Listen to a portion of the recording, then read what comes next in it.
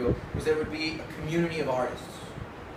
Okay, you know, I had lived in Bombay for many years before that. Uh, I've been back and forth between New York and Bombay. But one of the things that was really, really, and is important to me is art. And one of the things that I've noticed about the arts community in Bombay, because the nature of the city and the massive size of the city and the traffic and everything, you know, it's a real scattershot.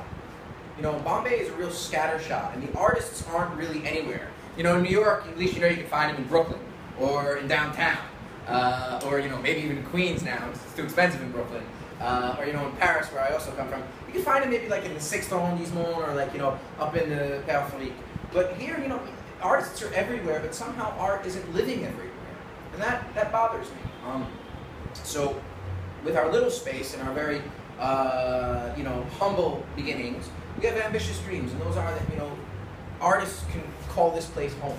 And the reason we decided when we sat down to talk about this under the tin roof thing, hence the tin roof, um, we really could not think of a better name. That was it. I said it off the cuff, and someone was like, "That's good." And I'm like, "Really? That's bad, actually." But um, the truth is, is that uh, you know one of the things that we were hoping for is that we could bring people together. And very quickly, we started talking about theater. We started talking about comedy. We started talking about you know workshops, and then I was like, guys, I'm a filmmaker. We probably saw some movies.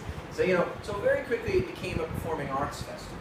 And you know, one of the things that's really important to, to, to us here is that everybody who walks through the door is members of our studio who train with us, or just people who come for to, to, to see something, partake in the venue. That you think of this as a home. That you think of this as a place where you can walk in anytime. And truly, you can walk in anytime. Um, if we're in the middle of a deep relaxation, you might find it a little spooky and weird because the lights are off and people are doing weird stuff. But I promise it, it only lasts a half hour. Um, but what's really important to us is that you understand that this is a place that we want to be like almost like a community center. And you know, today screening is part of a festival. But if any of the filmmakers here, if any of you have friends who are filmmakers, if any of you are artists, painters, photographers, comedy, stand-up, uh, theater, live performance art, whatever, please ask us to use our venue. It's not a problem and it's free. It's free of charge. We want you to show your movies here. We want you to partake in using our space. That's really important because the arts need to live. They need to breathe. I'm not suggesting that on our little corner of Hill Road we're going to turn this into, you know, Bombay's Art Center, but I'm suggesting that, you know, the revolution, it's a bit pretentious, starts with at least one gunshot. So, um, so the Under the Tin Festival was born of that spirit, and today and tomorrow we're screening films, uh, which of course is extremely near and dear to my heart because ultimately I am a filmmaker myself. And one of the things that I have noticed in my six years of living on and off of Bombay is that the monolith of Bollywood is actually paper thin, and that there are some unbelievably, absolutely outrageously talented, incredible storytellers here. And unfortunately, the way the market works, there's not that much space. There's not that many walls that are willing to show their films. And that's really a tragedy. And like I tell my students all the time, when an independent film is released in the cinema, or you hear about an independent film being screened, or you are invited to a short film screening, you, more than anyone else, has a responsibility to go.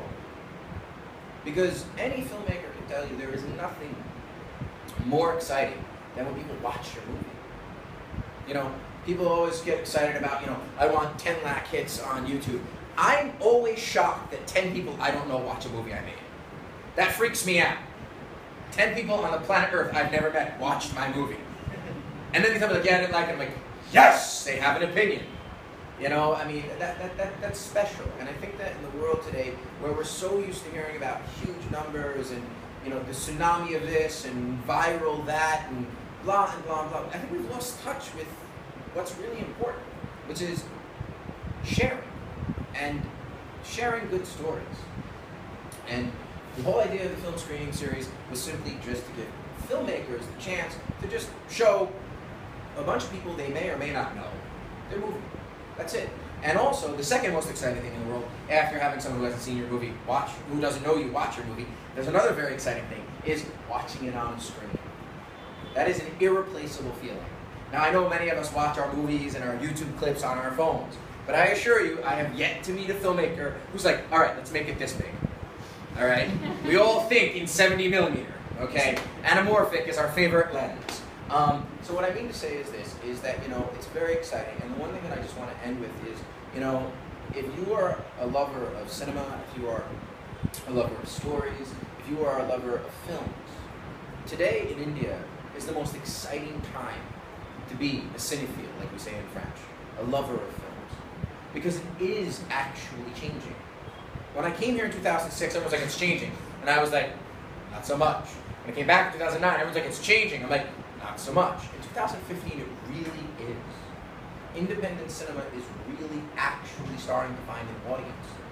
And the Bollywood junta that runs this place is, come on in, come on in, throw it over there.